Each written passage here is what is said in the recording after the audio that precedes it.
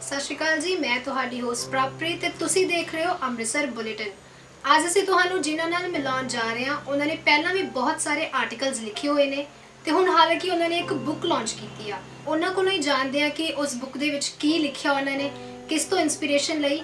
ਆਓ ਚੱਲਦੇ ਹਾਂ ਪਲਕ ਕੁੰਦਰਾ ਜੀ ਕੋਲ। ਸਤਿ ਸ਼੍ਰੀ ਅਕਾਲ ਜੀ। ਸਤਿ ਸ਼੍ਰੀ ਅਕਾਲ ਜੀ। ਅੱਛਾ ਤੇ ਸਭ ਤੋਂ ਪਹਿਲਾਂ ਪਲਕ ਜੀ ਤੁਸੀਂ ਦੱਸੋ ਕਿ ਅਹ, ਮਤਲਬ ਇੱਧਰ ਤੁਹਾਡਾ ਇੰਟਰਸਟ ਕਿੱਦਾਂ ਬਣਿਆ? ਸ਼ਾਦੀ ਤੋਂ ਪਹਿਲੇ ਵੀ ਤੇ ਸਕੂਲ ਟਾਈਮ ਕਾਲਜ ਟਾਈਮ ਚ ਵੀ ਬਹੁਤ ਆਰਟੀਕਲਸ ਵਗੈਰਾ ਲਿਖਦੀ ਸੀ ਔਰ ਥੋੜੀਆਂ ਪੋਇੰਟਸ ਵਗੈਰਾ ਲਿਖਦੀ ਸੀ। ਤੇ ਸ਼ਾਦੀ ਤੋਂ ਬਾਅਦ ਵੀ ਜਿਸ ਤਰ੍ਹਾਂ ਰੁਝਾਨ ਰਹਿੰਦਾ ਕਿ ਜਦੋਂ ਕਿਸੇ ਚੀਜ਼ ਦੇ ਪੁਆਇੰਟ ਲਿਖ ਦਿੱਤੀ ਕਦੀ ਆਜ਼ਾਦੀ ਤੇ ਲਿਖ ਦਿੱਤੀ ਕਦੀ ਹੋਰ ਕਿਸੇ ਚੀਜ਼ ਤੇ ਪੁਆਇੰਟ ਲਿਖ ਦਿੱਤੀ ਤੇ ਉਹ ਅਹ, ਉਹ ਇਹ ਰੁਝਾਨ ਵੱਧਦਾ ਗਿਆ ਤੇ ਸਪੋਰਟ ਵਧਿਆ। ਮੇਰੇ ਹਸਬੰਡ ਨੇ ਮੈਨੂੰ ਸਪੋਰਟ ਮੇਰੇ ਪੇਰੈਂਟਸ ਨੇ ਸਪੋਰਟ ਕੀਤਾ ਤੇ ਉਹਦੇ ਕਰਕੇ ਮੈਂ ਬੁੱਕ ਲਿਖਣੀ ਸ਼ੁਰੂ ਕੀਤੀ ਫਿਰ।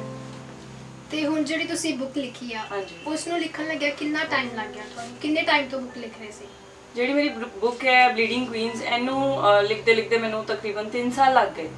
ਕਿਉਂਕਿ ਬੁੱਕ ਦਾ ਜਿਹੜਾ ਇਸ਼ੂ ਹੈ ਉਹ ਅੱਜਕੱਲ ਜੋ ਔਰਤਾਂ ਦੇ ਨਾਲ ਅਤਿਆਚਾਰ ਹੋ ਰਿਹਾ ਉਹਦੇ ਉੱਪਰ ਹੈ ਮੇਨਲੀ ਤੇ ਅਹ, ਉਹਦੇ ਕਰਕੇ ਨਾ ਮੈਨੂੰ ਸਾਰਾ ਕੁਝ ਸੋਚਣਾ ਪੈਂਦਾ ਕਿ ਕਿਸ ਤਰ੍ਹਾਂ ਲੋਕ ਅਹ, ਜਿਹੜਾ ਰੀਡਰ ਹੈ ਉਹਨਾਂ ਨੂੰ ਆਪਣੇ ਵੱਲ ਖਿੱਚਣਾ ਹੈ ਕਿ ਉਹਨਾਂ ਨੂੰ ਸਮਝ ਮੇ ਆਏ ਕਿ ਜਿਹੜਾ ਹੈ ਅਹ, ਅੱਜਕੱਲ ਜੋ ਗਲਤ ਹੋ ਰਿਹਾ ਕੰਮ ਬਹੁਤ ਵੱਧਦਾ ਜਾ ਰਿਹਾ ਉਹਨੂੰ ਕਿਸ ਤਰ੍ਹਾਂ ਖਤਮ ਕੀਤਾ ਜਾ ਸਕਦਾ ਹੈ? ਜਾਂ ਕਿਸ ਤਰ੍ਹਾਂ ਉਹਦਾ ਹੱਲ ਲੱਭਿਆ ਜਾ ਸਕਦਾ ਹੈ? ਓਕੇ ਤੇ ਇਹ ਜਿਹੜੀ ਬੁੱਕ ਹੈ ਬਲੀਡਿੰਗ ਕੁਈਨਸ। ਠੀਕ ਆ? ਤੇ ਇਹਦਾ ਮੈਟਰ ਕੀ ਆ? ਕੀ ਮੈਟਰ ਇਹਦੇ ਵਿੱਚ? ਮਤਲਬ ਕਿੱਥੋਂ ਇਨਸਪੀਰੇਸ਼ਨ ਮਿਲੀ ਤੁਹਾਨੂੰ ਇਹ ਬੁੱਕ ਲਿਖਣ ਦੀ? ਸਾਰਿਆਂ ਨੂੰ ਯਾਦ ਹੋਏਗਾ 16 ਦਸੰਬਰ 2012 ਦਾ ਜਿਹੜਾ ਨਿਰਭਇਆ ਕਾਂਡ ਹੋਇਆ ਸੀ ਉਹ ਉਦੋਂ ਲੋਕਾਂ ਨੂੰ ਲੱਗਾ ਕਿ ਪ੍ਰੋਟੈਸਟ ਹੋ ਗਈ ਔਰ ਉਸ ਤੋਂ ਬਾਅਦ ਉਹਨਾਂ ਨੂੰ ਉਹਦਾ ਕੇਸ ਚੱਲਿਆ ਉਸ ਤੋਂ ਬਾਅਦ ਦੀ ਉਹਦਾ ਜਿਹੜਾ ਉਹਦਾ ਉਹਨਾਂ ਨੂੰ ਸਜ਼ਾ ਮਿਲੀ। ਪਰ ਮੈਨੂੰ ਨਹੀਂ ਲੱਗਦਾ ਕਿ ਉਹ ਸਭ ਖਤਮ ਹੋ ਗਿਆ ਕਿਉਂਕਿ ਹੁਣ ਉਹ ਅੱਜਕੱਲ ਬਹੁਤ ਵੱਧ ਗਿਆ ਬੱਚੀਆਂ ਨਾਲ ਔਰਤਾਂ ਨਾਲ ਈਵਨ ਕਿ 100 ਸਾਲ ਦੀ ਔਰਤ ਨਾਲ ਜਾਂ ਕਿਸੇ ਨਾਲ ਵੀ ਕਿਸੇ ਵੀ ਲੇਡੀ ਜਾਂ ਬੱਚੀ ਕਿਸੇ ਵੀ ਔਰਤ ਨਾਲ ਦੁਸ਼ਕਰਮ ਹੋ ਰਿਹਾ ਤੇ ਕੋਈ ਇਸ ਚੀਜ਼ ਬਾਰੇ ਆਵਾਜ਼ ਵੀ ਨਹੀਂ ਉਠਾ ਰਿਹਾ। ਤੇ ਜਦੋਂ ਨਿਰਭਇਆ ਦਾ ਅਹ, 16 ਦਸੰਬਰ ਨੂੰ ਜੋ ਹੋਇਆ ਸੀ ਮੈਂ 19 ਦਸੰਬਰ ਨੂੰ ਦਿੱਲੀ ਗਈ ਸੀ। ਔਰ ਮੈਨੂੰ ਇਸ ਚੀਜ਼ ਬਾਰੇ ਕੋਈ ਨੌਲੇਜ ਨਹੀਂ ਸੀ ਕਿ ਕੁਝ ਹੋਇਆ ਕਿਉਂਕਿ ਮੈਂ ਨਿਊਜ਼ ਨਹੀਂ ਸੀ ਦੇਖਦੀ। ਥੋੜਾ 네ਗੇਟਿਵਿਟੀ ਦੀ ਵਜ੍ਹਾ ਨਾਲ।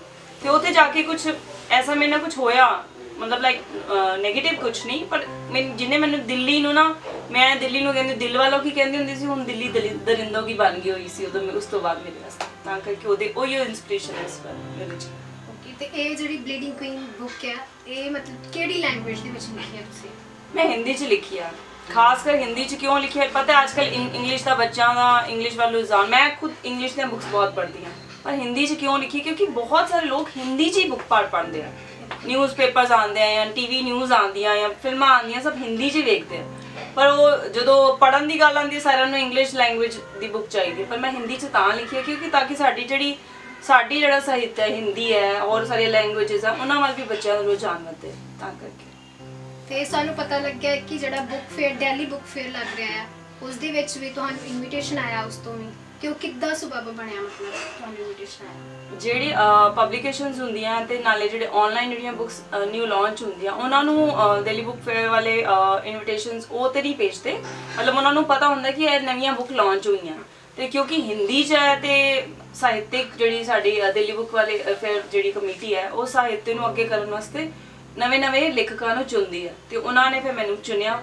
ਮੈਨੂੰ ਉਹਨਾਂ ਦੀ ਮੇਲਸ ਆਈਆਂ ਫਿਰ ਮੈਂ ਉਹਨਾਂ ਨੂੰ ਕੰਟੈਕਟ ਕੀਤਾ ਔਰ ਉਸ ਤੋਂ ਬਾਅਦ ਫਿਰ ਉਹਨਾਂ ਨੇ ਮੈਨੂੰ ਇਵੈਂਟ ਤੇ ਬੁਲਾਇਆ ਕਿ ਉੱਥੇ ਮੈਂ ਬੋਲਾਂ ਆਪਣੀ ਬੁੱਕ ਬਾਰੇ ਮੈਂ ਬੁੱਕ ਦੀ ਸਟੋਰੀ ਕੀ ਲਿਖੀ ਹੈ ਮੇਰਾ ਮੈਸੇਜ ਕੀ ਹੈ ਜਿਹੜਾ ਮੈਂ ਲੋਕਾਂ ਨੂੰ ਦੇਣਾ ਚਾਹੁੰਦੀ ਹਾਂ। ਓਕੇ ਤੇ ਪਲਕ ਜੀ ਤੁਹਾਡੇ ਅਪਕਮਿੰਗ ਬੁੱਕਸ ਜਿਹੜੀਆਂ ਕੁਝ ਪਲਾਨਸ ਹੈਗੇ ਨੇ ਸੋਚਿਆ ਹੈ ਕਿ ਅੱਗੇ ਕੀ ਲਿਖੋਗੇ? ਹਾਂਜੀ ਹਾਂਜੀ। ਮੈਂ ਐਕਚੁਅਲੀ ਇਹ ਜਿਹੜੀ ਮੇਰੀ ਬੁੱਕ ਹੈ ਬੁੱਕ ਲਿਖਣ ਜਿਹੜਾ ਸਭ ਤੋਂ ਜ਼ਿਆਦਾ ਮੈਨੂੰ ਜਿਨ੍ਹਾਂ ਨੇ ਸਪੋਰਟ ਕੀਤਾ ਮੇਰੇ ਹਸਬੰਡ ਨੇ। ਵਿਕਰਮ ਗੰਗਾ ਜੀ।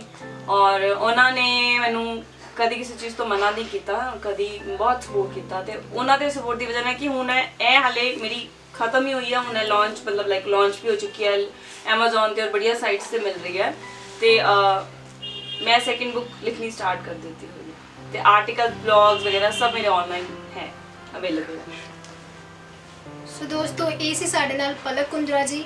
ਸਾਡੀਆਂ ਬੈਸਟ ਵਿਸ਼ੇਸ ਹਮੇਸ਼ਾ ਤੁਹਾਡੇ ਨਾਲ ਨੇ। ਤੇ ਅਗਲੀ ਵਾਰ ਫਿਰ ਹਾਜ਼ਰ ਹੋਵਾਂਗੇ ਕਿਸੇ ਨਵੀਂ ਸ਼ਖਸੀਅਤ ਨੂੰ ਲੈ ਕੇ। ਤਦ ਤੱਕ ਲਈ ਤੁਸੀਂ ਦੇਖਦੇ ਰਹੋ ਅੰਮ੍ਰਿਤਸਰ ਬੁਲੇਟਿਨ ਕੈਮਰਾਮੈਨ ਹਰੀਸ਼ ਚੱਡਾ ਦੇ ਨਾਲ ਮੈਂ ਪ੍ਰਾਪ੍ਰੀਤ ਕੌਰ।